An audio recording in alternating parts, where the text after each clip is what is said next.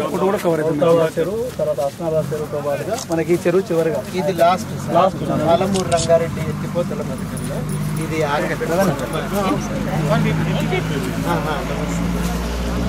సరే జరగండి మీరు ఒక నిమిషం ఒక నిమిషం జర కవర్ చేయండి అందరినీ కవర్ చేయండి అందరూ ఇది లాస్ట్ ఇది చాలా పెద్ద చెరువుల్లో ఇది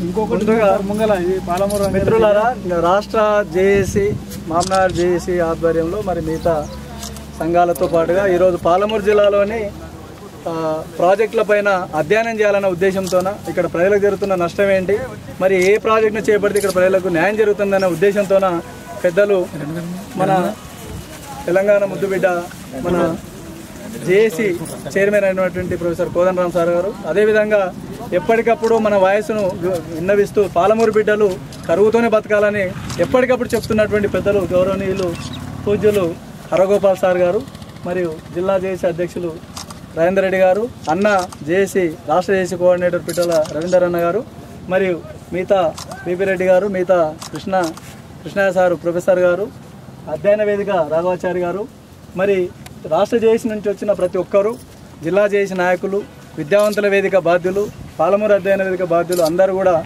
మరి ఈ యాత్రను కొనసాగించడానికి సార్ వాళ్ళ వెంబడి మేము ఉంటున్నాం. అయితే ముఖ్యంగా బుమ్రాస్పేట్ ఏంటంటే వాస్తవంగా సార్ ఈ బుమ్రాస్పేట మండలానికి కాకరవాణి చెరువు కొద్దిగా పైన ఉంట కాకరవాణి ప్రాజెక్ట్ ఉంటుంది. దానికి మధ్యలోనే కొంత బడ్జెట్ కూడా రిలీజ్ అయినట్లున్నది. కానీ ఈ చెరువు కింద రెండు పంటలు పుష్కలంగా వండేటివి. అయితే ఇప్పుడు వర్షాభావం ఉన్నది. At the same time Narayanpet Kodangal ఎత్తిపోతల పథకం ఉంటే ఈ చెరువు నిండడానికి అవకాశం ఉంటుంది. మరి పాలమూరు రంగారెడ్డి ఎత్తిపోతల పథకం ద్వారా అక్కడ నుండి నీరు రావాలంటే వచ్చే అవకాశం అయితే దీనికి అసాధ్యం బట్ ఆ విషయాన్ని మీ దృష్టికి తీవాలని చెప్పి ఈ ప్రాంత ప్రజలందరూ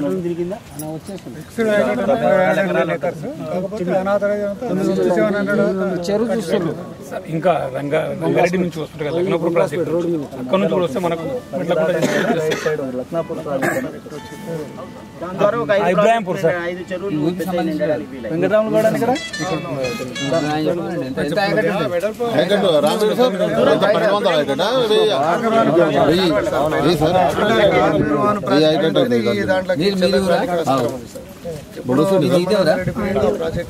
ఇదే ఎవరు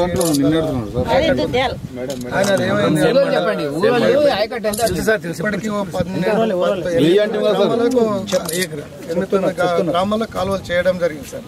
దానికి ఎట్లుందంటే వాటర్ సోర్సెస్ బాగుంది సార్. అంత అసైన్మెంట్ ల్యాండ్ గుట్టలతో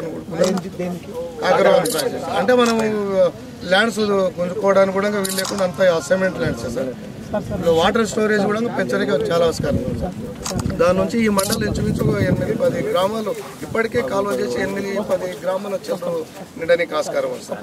అది ప్రాజెక్ట్ వేసినప్పటి నుంచి ఈసారే ఇదైంది సార్. ఫార్టీ ఇయర్స్ నుంచి కంటిన్యూ నిండుతూనే ఉంది. అది నిండితేనే ఈ చెరువు వస్తుంటాయి సార్. ఇప్పుడు ఈ కాలువ అదే పాటు కాలువ. దీంట్లోకి ఇప్పుడు వచ్చే నీళ్ళు అవే సార్. ఇది? పైన. ఇదే కాలువలో ఇదే కాలువ. అంటే బాగా ఆ పాలమూరు